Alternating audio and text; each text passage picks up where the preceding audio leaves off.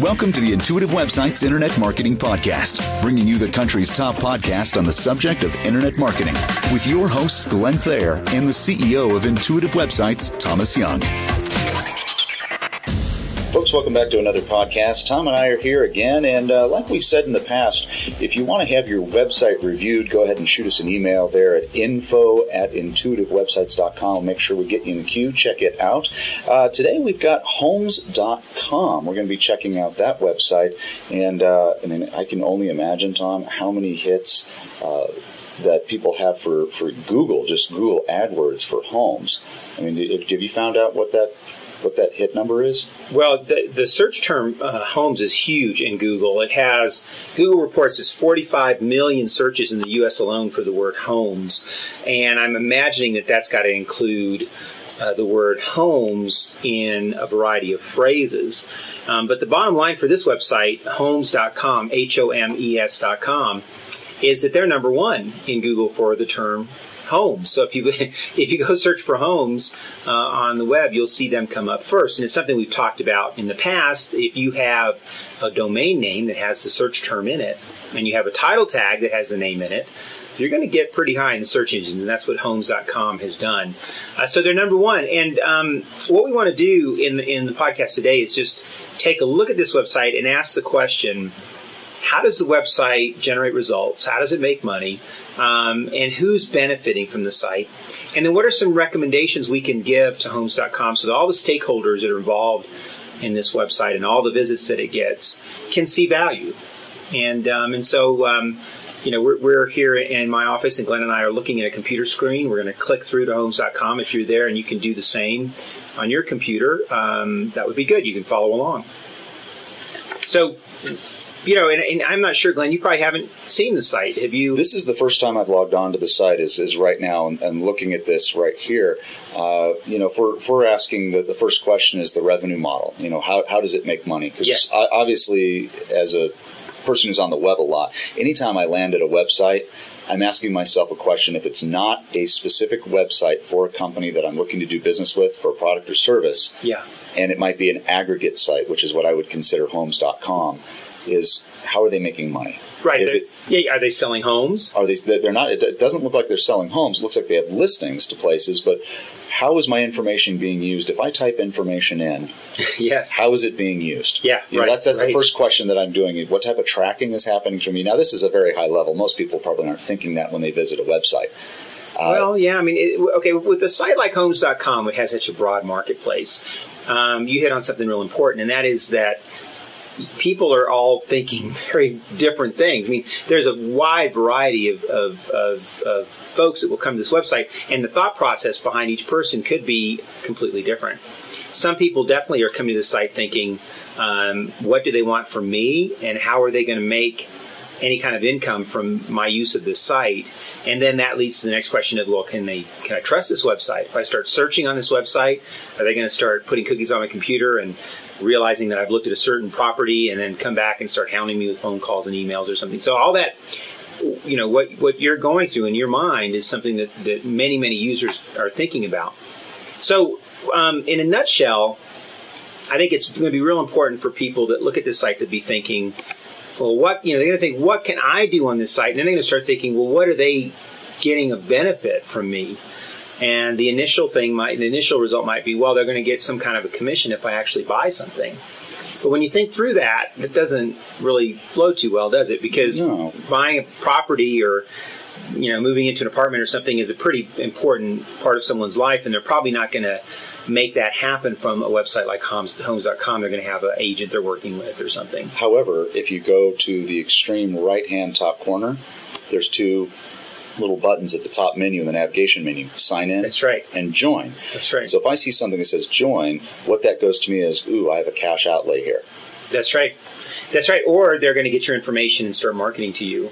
Um, but uh, but anyway the answer to how they make money is and it's not very uh, evident from the home page but once you do a search or once you click on a property um, and and the website knows where we're located. It knows to show some featured listings based on, on our location. Once you get into the site, then you start to see how they make money, which is off advertising.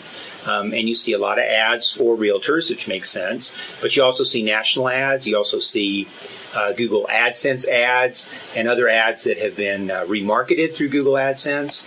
And you can start to see, well, yeah, that's how they make money is through the advertising, which is interesting to me because when I see that, I think right off the bat, okay, great. Well, then this website exists to please the advertisers, right? So then the next question is, well, what do advertisers want from this website? And my thought is that a realtor wants leads and they want to sell homes. A mortgage broker wants leads and they want to sell mortgages. So the real question to this website is, um, how do they how do they get that need met from their advertisers? And it's kind of challenging because when you come to a site like this and you start searching for a home and you start seeing these ads pop up, we just know that most people don't respond to these ads. Most people don't click on the ads. Most people use the site to get whatever the, value they can get from it.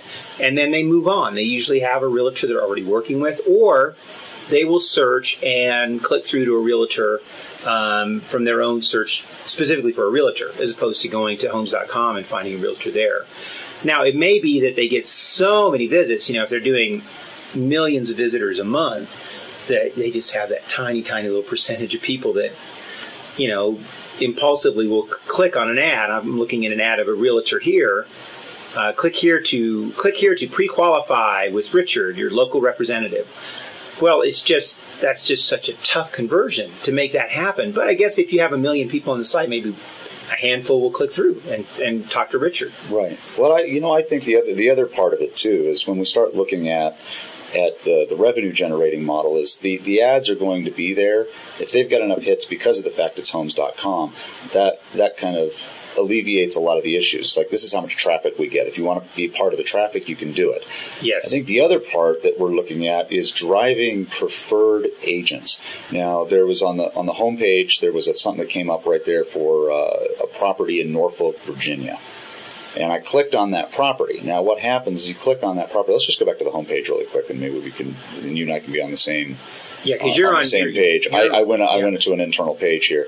So if we go back in there and we see see what's in there. Um, first up, and oh, you've got one at the golf club drive. Um, does it have a preferred for request information? So if you go click on the, the there's no picture. If you're going to, all the agents need to have their pictures on here. By the way, if there's and there's one. There was one that, for an example, let's. Uh, yeah, there we go. See, it goes to preferred. Now, this right here is where I would see somebody would the agent would come in and they might pay a, uh, a monthly fee to Homes.com to be listed as a preferred. Hmm. The other thing when I when I came into this other property at uh, in Norfolk, Virginia. I don't know why it has me there, but that's where it has showing me properties from. Mm-hmm when I click on it, there is no agent information. Now, if I had information, a little box, this little request information box, and it had the picture of the agent, it had their information for their real estate office, and it said request information, and I said, hey, this is, I'm moving to Norfolk, Virginia, I'm interested in this property, I would put my information in there. I would put my name and email address and, and phone number saying, hey, I'm interested in this property. Yeah, and, and, I think that from the user experience, also, if, if you have a great user experience on this site in searching for the property, then basically the site is giving you this this great branding, right? And that branding translates into a higher conversion rate. So you're much likely to click on an agent if you had a good experience with the website. So there, it's kind of a two-edged sword that they're working on. And I and, and, and getting back to the advertisers and, and what the advertisers want, these folks that that are the um, the preferred or anyone who's running an ad here, they want to get leads. So the most important thing that homes.com can do is set up tracking systems to show these realtors and these other advertisers that they're getting impressions and they're getting click throughs and that their properties, or if they have featured properties or whatever, are getting folks looking at them. And that there's a way to capture interest from the site. That's what's going to drive advertisers. Otherwise, you're just going to get into this whole idea of just rotating ads it for people looking for a quick fix. Um, and and people on the web, especially realtors, are notorious for throwing money at things when they don't really understand how it works. they can say, "Oh yeah, you get a million people a, a month on your site. Get me, I want some of that action." Well, that's fine, but they need to be able to measure specifically the returns. And, the, and, and I would I would recommend that anyone who advertises on this site gets a report from homes.com on a regular basis that says your ad displayed this many times and your ad clicked through this many times and points of interest on the website, your properties, or whatever it might be, were seen this many times. So once you cover that and you've got happy advertisers who can see results, then come back and focus on the user experience and just make it an amazing user experience.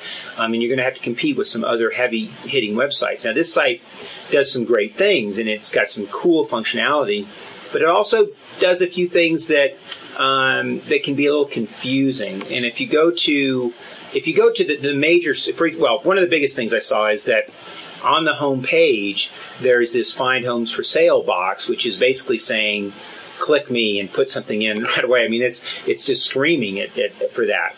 Um, I think it's real important that that search box, that same search functionality, is on more than just the home page. It needs to be throughout the site because people will be coming back to this search as a kind of their anchor point to to narrow what they're looking for. When they do get to the, through the search, um, and let me do a search here, you want to there's just a couple little things that I think would be helpful. For one, is put the address and the price together. Don't separate the address of the home from the price of the property because that just confuses people. And there's a lot of sites out there and a lot of um, experiences that homebuyers have where they can't find the address for a website or they can't find the price. Right. Like, have you ever gone to a property? Oh, look at that house! I wonder how much it's selling for. You go to the flyer that's the flyer that's in the box by the front door no price. no price. And so you're like, well, that doesn't help me. And so you want you want to just make sure that in your search results, the address for the property is listed next to the price. You know, the other thing I want to bring up on that too, and this is this is just a sales uh, just a, a, sales issue as well. Yep. Is for those agents that are not listing the price because they say, oh well, I want the phone call so I can have a conversation about the property. It's like when people are looking at homes, they want the price, well, and, yeah. and if it's not, if it's in their price range, they will call. And basically, what you've done is you've wasted everybody's time because if that's out of their price, their their, their price league, you're now having a conversation, wasting your time and wasting this other person's time as well. Yeah, so, it's it's a huge problem in this industry. Is the whole uh, the looky loo problem? We've talked about this in other podcasts where there's so many folks just just looking, and really don't have an interest in buying. Um, you see that, for example, in the parade of homes that is actually going on right now here in Colorado Springs.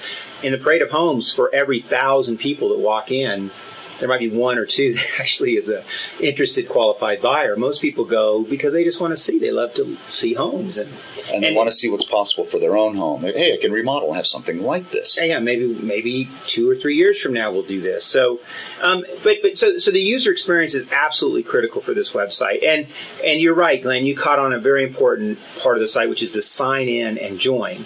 And when I look at those two, I'm thinking sign in and join. Well, I I want to join but not sign in, or I want to sign in but not join. I mean, it's a little confusing there. So um, the thing that needs to happen in both of those areas is that there's there's it needs to be very clear as to why we do this. So so put some content in here about the benefits of joining.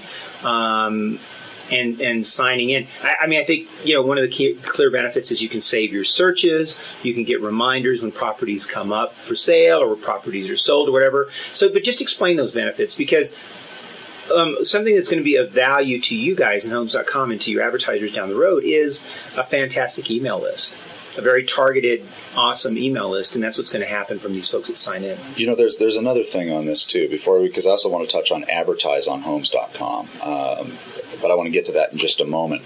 What what you're talking about as far as signing in, when we go back to the home search with what you have right here, uh, my big question comes to mind is if I'm interested in home, how do I save it? Because I can see that I can save this search, but how do I save on each of the homes? Well, each of the little listings there's a little save button on here. Yes. I'm thinking, okay, well, maybe that will be able to use the cookies that I have and save that property. However, when I click save, it now says sign up for my homes. Now, myself, as somebody who's just perusing homes and might be on their site, I would never fill this out.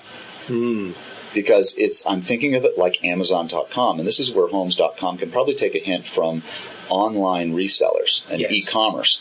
I can browse all the things through Amazon and never have to put my email in. I never have to sign in, and it will give me a history of what I viewed.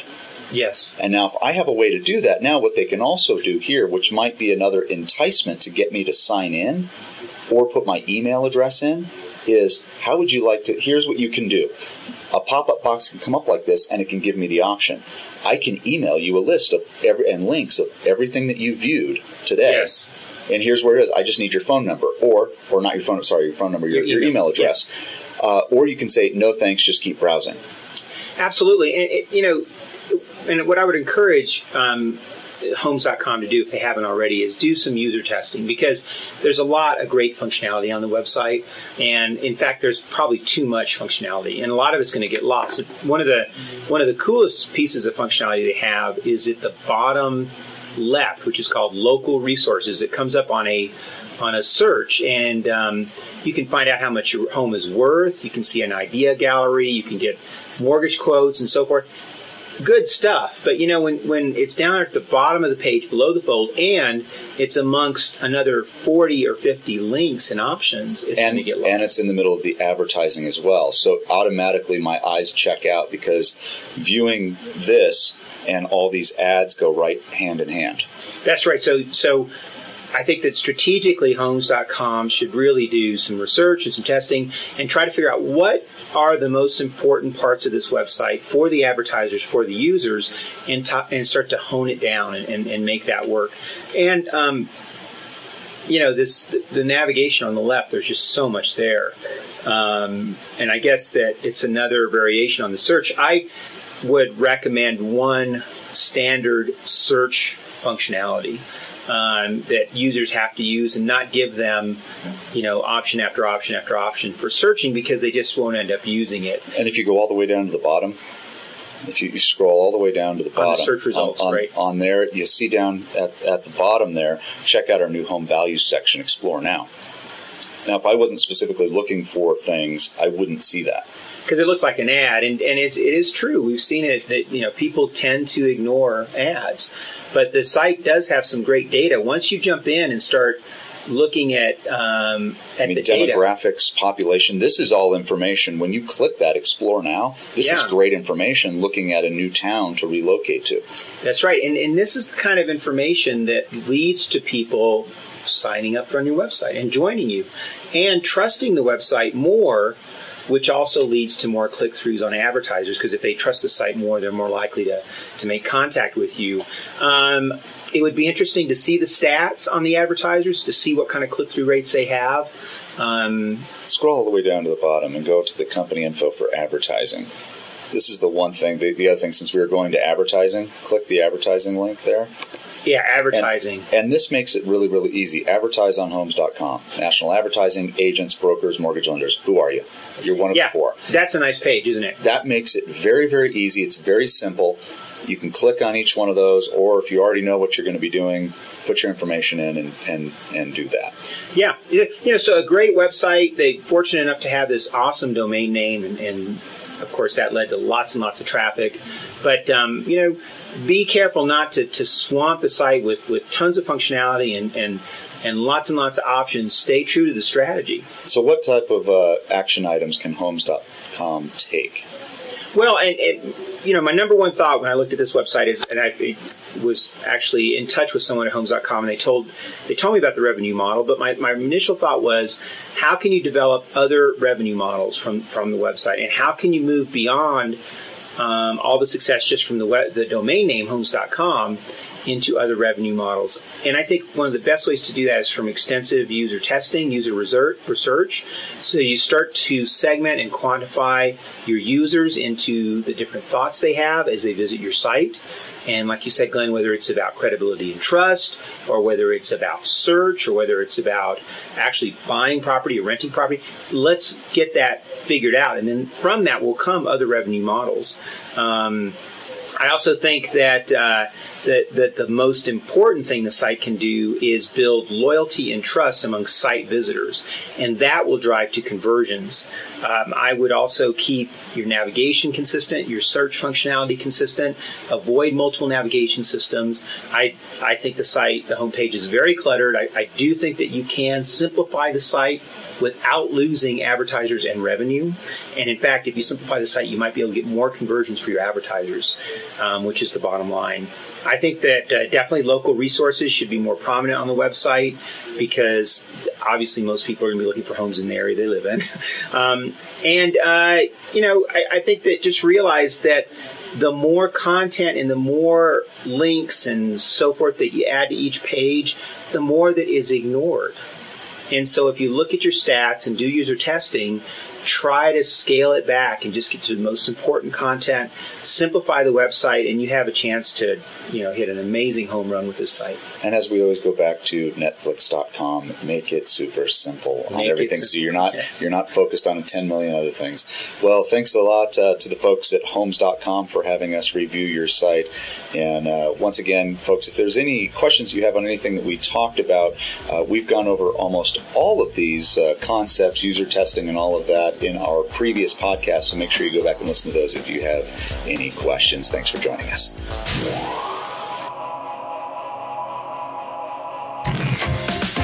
This has been an Intuitive Websites Internet Marketing Podcast. For more information and to see all the available podcasts and much more, visit intuitiveblog.com.